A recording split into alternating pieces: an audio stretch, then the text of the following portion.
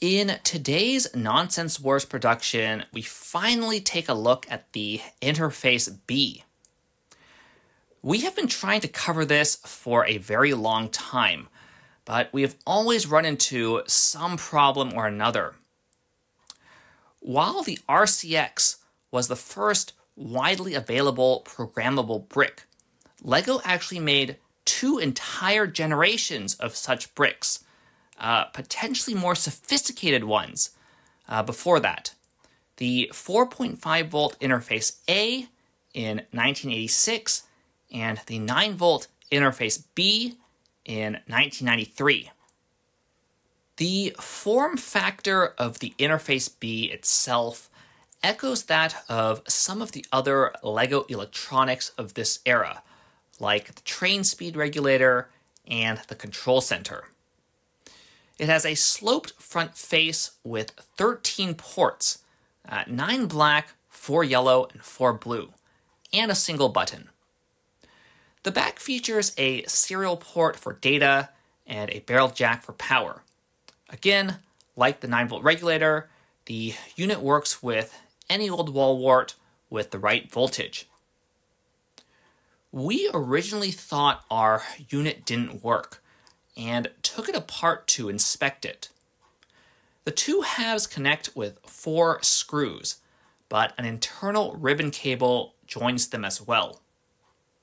To remove the daughter board from the base, we need to extract the internal screws securing the board itself and the external standoffs securing the serial connector.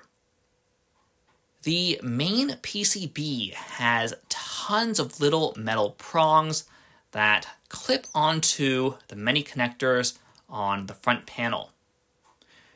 We saw this same feature in other 9 volt programmable bricks like the RCX and CodePilot, but never in such quantity.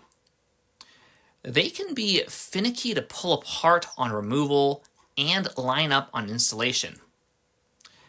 This particular mainboard also looked pristine.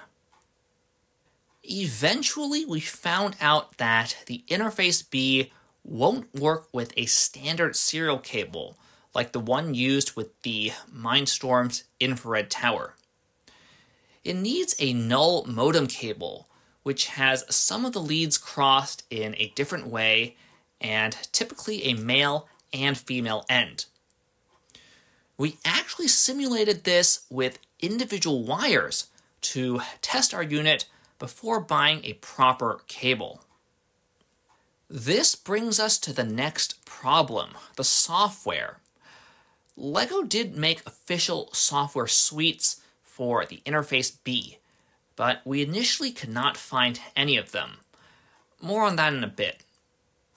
Surprisingly, more than one third party control app exists, and we ended up using BrickLab, which worked with at least two versions of Windows, uh, XPN 7, and several different computers, including with a USB to serial dongle. So, what does the Interface B actually do? Well, the eight black ports on the left output variable voltage, and the single black port in the middle outputs full voltage continuously. The yellow ports read passive sensors like the touch sensor, and the blue ports read active sensors like the light sensor. The colors of the RCX sensors, and heck, the sensors themselves, all come from the Interface B. With BrickLab, we can manually adjust the output of the black ports and drive various things from 9 volt lights to power functions motors. We can read both the passive and active sensors. Uh, their values go from 0 to 1024. Unfortunately, at least with the third party apps we tried, we can't do anything other than manually read and write to the ports.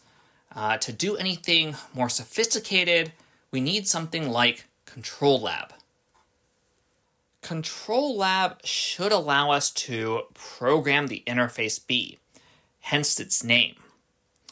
We found a copy uploaded somewhere, and it actually installed without issue on Windows XP and 7. Unfortunately, anytime we tried to connect to the Interface B, we got some kind of connection error, even though BrickLab would work fine with the same hardware setup. We eventually tried three different XP machines, desktops and laptops, including a very old Dell Latitude C series, and then 4-bar linkage's old MacBook with Windows 7 and a USB serial dongle. All of these machines could operate the Interface B with BrickLab, but not with ControlLab. So that's that. If we ever get it to work, we might do a part two. So if anyone has any ideas, post them in the comments. On that note, this is the end of the video. Uh, please consider subscribing if you like what we do, and have a nice day.